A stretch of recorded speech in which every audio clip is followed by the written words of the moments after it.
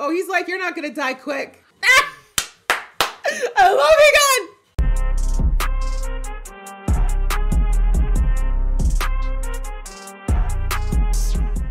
Hey guys, it's your girl Aisha, K Geek Chic, and we are back with another reaction to Ninja Kamui. We are now on to episode seven. So, the last episode, we got a little background on the insider help that our guy Higan was getting from inside of Azu, uh, Auza City, pardon me.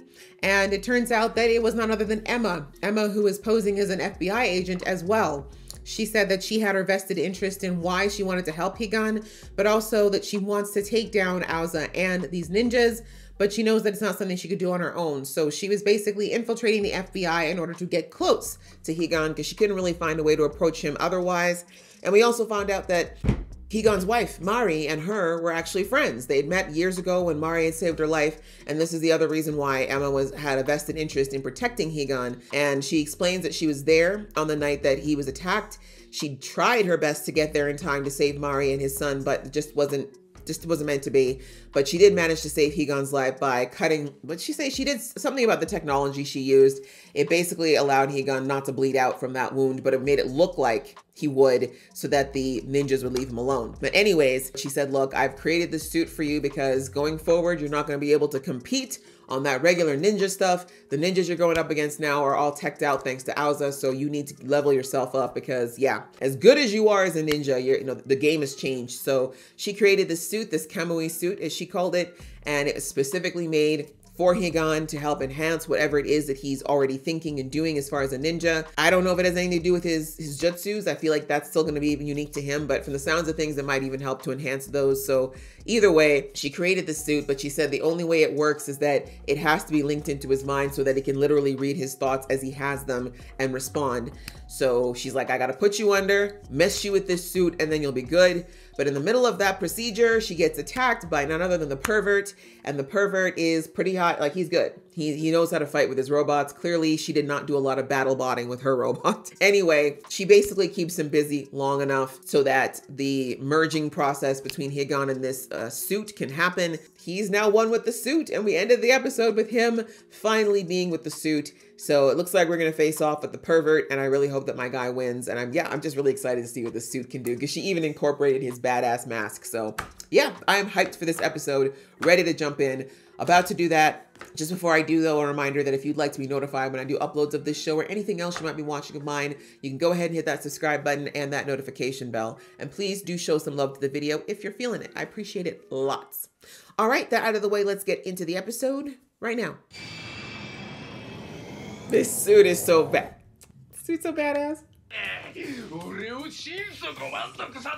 Can you stop talking? I want this man to really stop giving speeches. Sorry, what? She's still alive! Okay, I thought they took her out. I'm glad, because like there's so much about this suit that he needs to know. What was that? Keep talking, smart mouth. No. Because here's the thing, bro. You don't fight like a ninja. Ooh, the ninja run, I love it. Woo, okay. Yeah, this, this suit is everything. Yeah. Oh! Not supersonic speed. Oh, y'all, yeah, mm-hmm. Oh, he's like, this is good. He liking it now.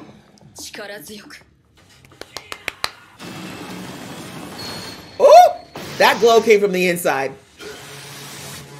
Right in the mouth, please. Shut him up. Oh no, where's your shell? Nothing to say? Ew. I was joking. Don't say anything. Yeah, it is. Stop talking. Not the piano music. We don't care about this pervert. The world is better off.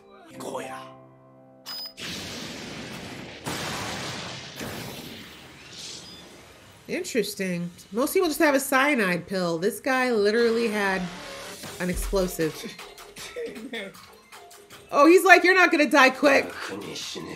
Ah! I love you, gun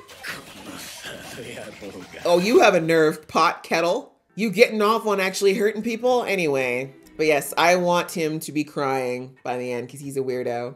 You need to cut off his tongue first, though, because if you want to hurt a man like him, the best way to do it is to make sure he can't continue to speak.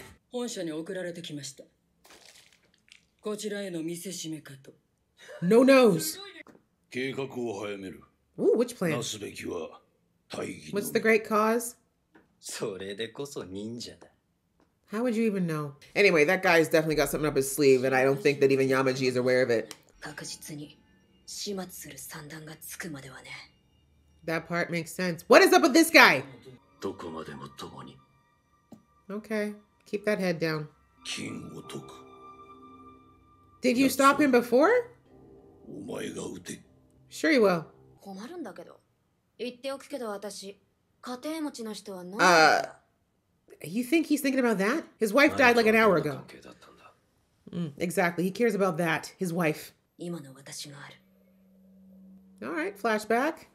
マリさんは私の初めての上官だったあ Mm. の人はい私の思い描いてきた理想の忍びそのものだった Nice. 一目置かれる3人がいたザイあなたそしてマリさん Well, you know, when you, you got it, you got it.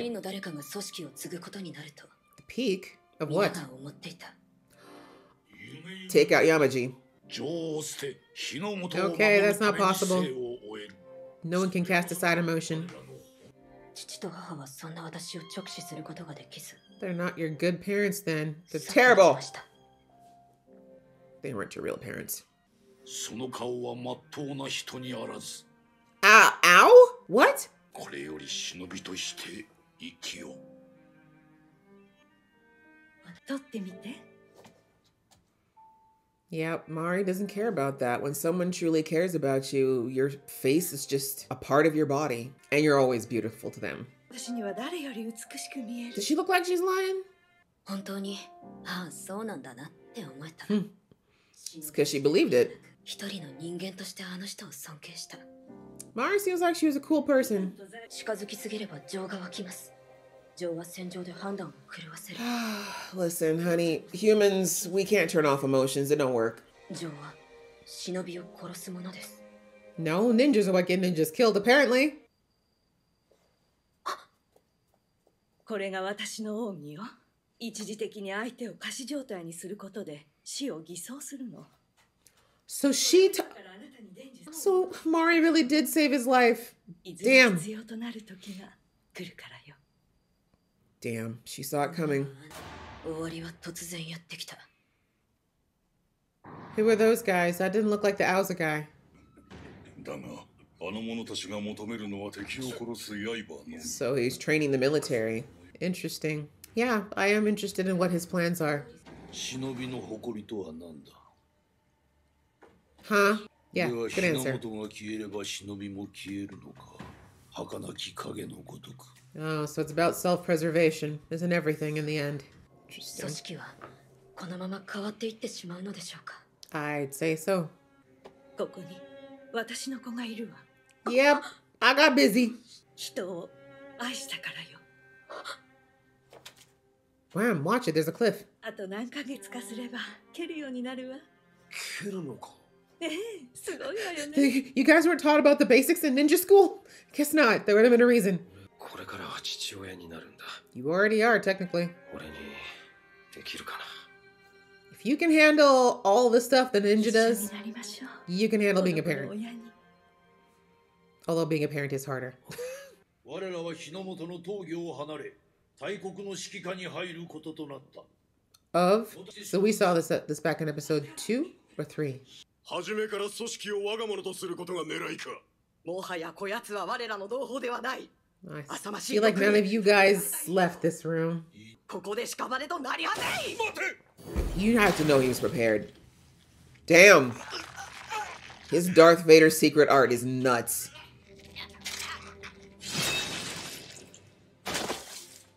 Well, I appreciate the sentiment.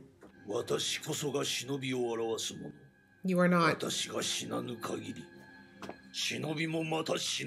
Oh, wow. Not him turning himself into a god. Yeah, you need to take Yamaji down immediately. Yeah, I was about to say, you saw that dirt, that in, that art.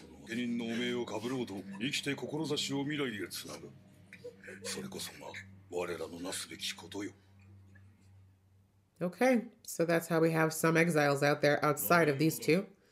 私が独自に開発を続けてきたものですある人の助けになればと Oh. どうか皆の仲間のためにこれをややこ Oh? 大事にな How did he know? I mean, he should be asked. He's a ninja. Never mind. He probably heard the heartbeat or something. 仙台はもうなくなったわだからこそです、Oh, that's where they were burning. Okay. 気づいていたわ初めて会った時から Right? どうか Mari is very smart. その子を捨ててください Yeah, you've never been a mother, because then you know that's not that easy. 私の見張る者そのために偽り欺く Mm-hmm. だとするとあなたの顔が浮かぶんです Aw. Well. Ooh, this scene.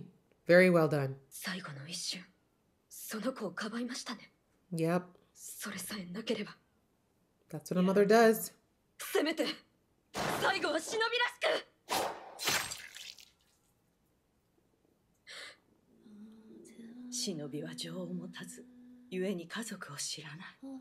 Yeah, that's just not at all true. Exactly. Look how Higan's fighting. See, that tear, that's emotion. Very interesting philosophy that they're trying to instill, though. Okay. 彼らが何をするのか内側から監視するものが必要でしょうからでこんなに大変だったのね忍びの頃より苦戦してるかも Exactly. Didn't I say? It's actually harder. Being a ninja is hard, but あの人こそ本当の忍びだった exactly. Isn't the whole point to protect something? She protected, but she loved. 棟梁の山路の目的を Okay. 奴は何をするつもりだ彼は今 Uh huh. ある計画を進めている Which is world domination. Of course, you end the episode. All right, okay. All right, another really good episode. We finally have the backstory on how Mari and Emma know each other because I was curious. She said she saved her life, but I'm like, I mean, it sounds like Mari, based on the flashbacks we've seen, she was not one to like to take life, especially of younger people. But uh, we see that it was actually because they were in the organization together and it looks like Mari was in charge of training her. So, yeah, it explains how they built such a strong bond and that Mari was the one who taught her her secret technique of the making things appear dead. So, like I said in the episode, Mari saving her husband from the afterlife. she didn't even realize, but she did tell her that there would come a day when she would actually need to use it, and that's exactly what happened. So, yeah, it's good to get that background. We see now why Mari was someone that was someone to be loved, someone to be admired, and it kind of makes me think that when Mari said in the episode that both Higan and and Sai meant so much to her, I'm thinking that maybe some of the reasons Sai is like again, we still don't know what's going on with Sai. I still need to know why his eyes be just completely blown out all the time, but I'm wondering if some of why he's like this is because of Mari. Like maybe he was in love with Mari too. I feel like there might have been a little bit of that, but I think he had a lot of love for her either way. So maybe he blames Higan for Mari ending up in this situation, right? Because they crossed into that territory of being a couple. And I talked about this a couple episodes ago about how Sai might have started to develop a bit of jealousy when those two formed a closer bond together than you know you know how it goes third wheeling sucks right no one wants to be the third wheel especially if they grew up together and they were always kind of on equal footing you know when mari and higan got into that relationship that would have changed the dynamic of their trio ir- irrevocably forever especially when a kid was involved so i think maybe Sai felt a little abandoned, maybe a little left behind, maybe betrayed. And then, of course, with everything leading up to Mari's death, he might be feeling extra spicy where Higan's concerned. But anyway, but it's interesting to get that background and hearing more about like how the organization was versus what Yamaji is trying to turn it into, which again, we still don't have the plan, but it's got to be world domination, right? Because the what, what Auza's been doing with taking out all these different um, countries' leaders that try to stop them from infiltrating, I got to think that he wants to have people everywhere. And we heard Yamaji say that if Japan goes, if we're dedicated to protect Japan solely and Japan goes down, what happens to us? And it's kind of like, that's quite the thought. But yeah, I guess his idea, he, uh, Higan, Yamaji, I think has a, again, he definitely has a God complex, but he's got this idea that he needs to be extended beyond Japan. Like he wants to have an impact outside of what's in comparison to the rest of the world, a rather small country. And so it, to me, that's what I'm thinking is that he's got some real fears of his mortality. I mean, he's still human, but I think in his mind, he thinks this is the way to guarantee the survival of what he thinks ninja culture should be into the future. And that's why he joined with such a futuristic leader in Auza. Uh, and now I think he's just trying to, as I said, just take over and implement his own personal army in all these different places to ensure that there's no way to ever wipe him or his organization out. But of course, that's not going to work in the long term because I do think that the Auza leader, I, I, still don't know his name, but anyway, the blonde, I don't think he's got his own plans, clearly. The way he acts, his whole fake, excited about everything, blah, blah, blah, blah, blah. That's BS. He definitely has his own agenda. We just don't know what it is yet. I think he's, they're both using each other. Clearly, Yamaji is using that guy, that guy's using Yamaji. And I think Yamaji also has every intention of trying to take that blondie out when he gets what he gets when he gets what he needs. Because obviously the blondie, I think the advantage he's got that's keeping him alive right now is that he has the technical know-how and understanding that Yamaji just doesn't have and wouldn't have time to learn. So we'll see what happens. Eventually there's gonna be some infighting, but for now they have a common goal. So we'll have to see what that is. Hopefully next episode we'll actually get to hear what the plan is. But yeah, it was good to see that backstory see how the ninjas operate. This whole idea of, you know, you have to abandon your emotions to be a good ninja. I always laugh when I hear lines like that because it's literally impossible as a human unless you're actually a sociopath. You can't turn your feelings off. It doesn't work. That's not the way we work. We're all emotionally driven. And I like that Mari did that line in there where she said that emotions are not what make me weak, they make me stronger. And it's true. Look at Higan. Higan would not be the absolute demon that he is right now if he wasn't being driven by his love for his wife and his son, right? That's really what's driving it right now. So she had a point. She was onto something. And it's also good to know that now that Emma has definitely got stakes in this, like because of how much she loved Mari as like a sister, family member, whatever you want to call it. She's very emotionally invested in this mission too. So I'm glad that Higan now has an ally that really, really does care about this as much as he does. Because that was my fears that is Emma. If Emma's just doing this as a one-off thank you to Mari, this may not work out. But she has enough skin in the game to want to actually help him for real. So I'm glad because that suit is amazing. Oh my gosh, that fight was so good.